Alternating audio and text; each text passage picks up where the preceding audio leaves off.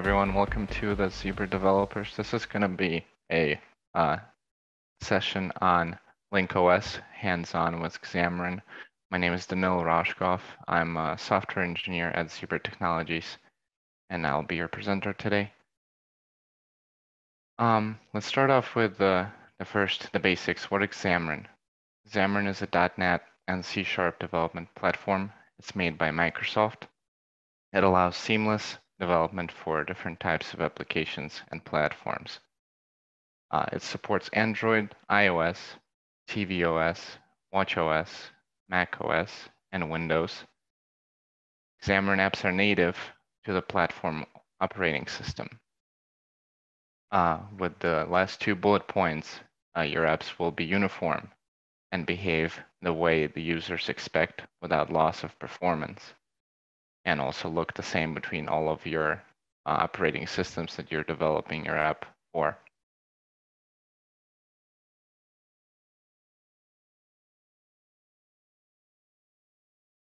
Uh, the next slide is going to be an uh, overview on our SDK. So our Xamarin SDK is part of a Link-OS multi-platform SDK, which can be found on zebra.com. Uh, our most current version of Link-OS multi-platform SDK is 2.15.1, which was released uh, around December 2018, and it includes Xamarin.NET and C Sharp SDK. You can find more information on the Link-OS multi-platform SDK on uh, the Zebra website. Uh, Xamarin SDK is available also on NuGet.org. Our most current version on that website is Xamarin SDK uh, 2.15.2634. Uh, you would normally find that version when you're programming in Visual Studio and you're trying to update your NuGet uh, dependencies. Uh, that version is going to have a slightly different name on there. It's going to be going to be called Zebra Printer SDK versus uh, Link-OS multi-platform SDK on our website. Um, Zebra SDK supports a wide variety of Zebra printers and mobile devices. The list uh, is as follows, but not limited to card printers, mobile, desktop, industrial, and kiosk printers. We also support Android 4.4 and up. We support iOS 10 up, Windows Mobile 5 and up, and Windows CE 5 and up. Full list of supported printers and devices can also be found on our website.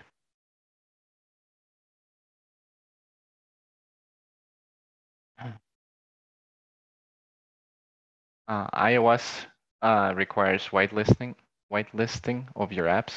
So every iOS app that is utilizing specifically Bluetooth using external accessory framework functionality of our SDK will need to be whitelisted. Uh, the process is usually as follows. You'll develop your app. You'll send your app for Zebra to review. Once we approve your app, you can submit your app to the Apple Store on uh, for the upload on the Apple Store. Whitelisting is not required if your app communicates with Zebra products via WLAN, Bluetooth Low Energy, or standard Bluetooth profile. Uh, the whitelisting is only applying to for the Bluetooth using an external accessory framework. Uh, finally, for the whitelisting, it requires reapproval. So anytime you uh, make updates to your app, you will have to make a request to get it whitelisted again before you can submit it to the uh, Apple uh, store. You can find more whitelisting information also on our website. FYI, every anytime I mention on a website, all of these URLs are going to be included uh, in the PowerPoint when it's shared with you at the later time.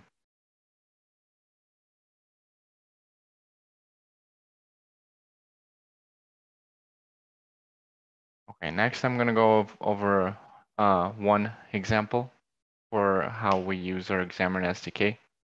The example is going to be on printing uh, over Bluetooth specifically. Uh, so Xamarin supports other types of connections, such as WLAN, USB, and others. You can review the full list of supported connections and platform restrictions inside ZebraLink OS multi-platform SDK for Xamarin Tech Docs. Link will also be included for this. Uh, so let's go over the example. Uh, this is a basic class that I create, just created just as a sample example. You will need a MAC address. I put in a dummy MAC address in there uh, for testing purposes, but we'll start off by creating a connection variable with a generic connection type.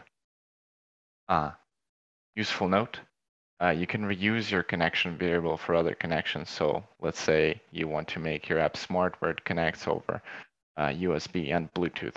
You can reuse that same connection uh, variable in the same object for multiple connections, multiple types of connections.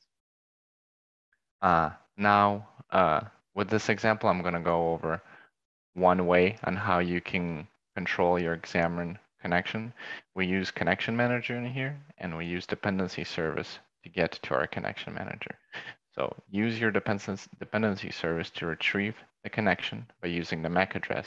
Dependency service that get will reach out to your iConnection Manager interface, which will then return the connection based on the platform you are on, such as iOS versus Android. So the way we have it set up here is that uh, our dependency service is controlling uh, which portion of the Xamarin SDK to reach out to for iOS versus Android in our example. Um, uh, keep in mind that dependency service is one of the many ways you can achieve retrieving a connection using our SDK. You can see another example in our tech docs as well.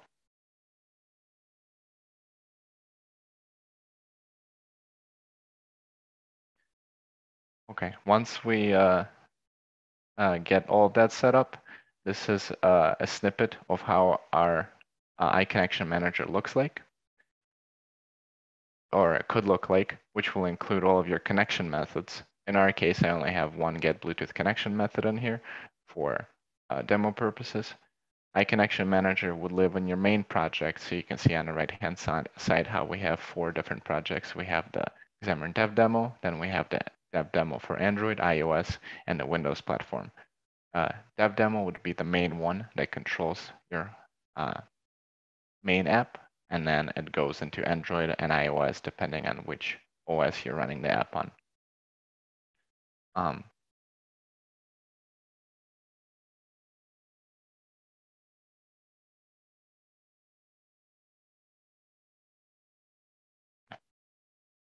Uh, next, we're finally getting into our Android code. When Xamarin knows which OS you're on, it will divert to the interface uh, to the proper class. In this example, I'm showing the code snippet of Android Connection Manager implementation, which extends iConnection Manager interface. Here, we're using our Xamarin SDK to retrieve a new Bluetooth connection on line 11 uh, for Android by using the MAC address and returning it as a connection class. Uh, so line 11 would be the portion that would be different for, potentially different for iOS versus Android, uh, because we want to make sure that we're pointing to the proper uh, Android or iOS uh, example. Uh,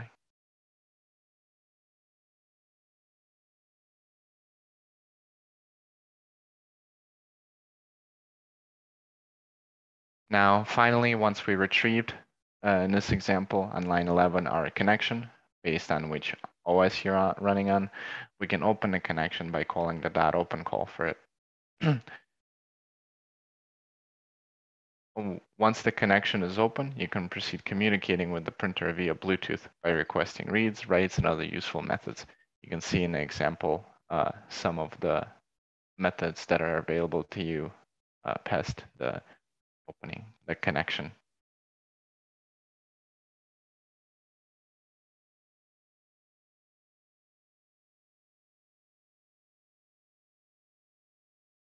Okay. Now, uh, once we open the connection, we can do multitude of other things, but in this example, we're going to go over printing. So we can go ahead and send a print job to our printer. We will start off by making a string variable with our ZPL format that we're planning on sending to our printer, such as one on line 10. It's just a dummy uh, ZPL format for testing purposes.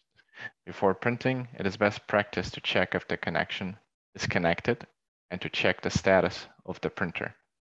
Uh, it is important to check the status of the printer because you never know what the printer is doing at the time you're printing. Uh, the print, can, print head could be open, you could be out of media, uh, and other potential cases. To check the status of the printer, we made a check printer status method, uh, which uses the connection variables to create a new Zebra printer object. You can then use the Zebra printer object to get the status of the printer. Some of the printer status examples could be print head open, media out, print head is too hot, and many others which you can find in the, in the documentation. The main one to look for here is if the printer status is ready to print. If it is, then we can send a print job to it. Otherwise, we should resolve whatever the status may be. Uh, most statuses you will not be able to resolve uh, via software in a way, because uh, there's no way to close your media uh, print head. Uh, so some of them will have to be done uh, physically when you go to that specific printer. So once we took care of the check-in printer status and our connection is connected, we can go ahead and write our ZPL to our printer. Uh, Zebra printers love ZPL, but we need to make sure we're sending it with a proper UTF-8 encoding.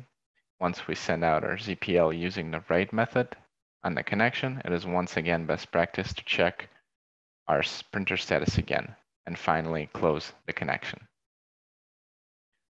Uh, so once again, to quickly go over uh, what we just talked about, to open the connection, you will need to create a connection class. You will need to use the proper SDK version, uh, code, Android or iOS, to get the connection uh, created. Once the connection is created, you can open the connection. Uh, then to be able to print, it's always best practice to check the printer status. You'll check if the connection is connected and check if the printer status is ready to connect. Once that is done, you can send a ZPL you need to make sure that the ZPL is in a UTF-8 format so the printer is happy. Once the printer has received your print job or whatever you're doing, uh, make sure to check for status again and make sure nothing uh, happened during the print of your ZPL, such as media out or anything like that. And then finally, do not forget to close the connection.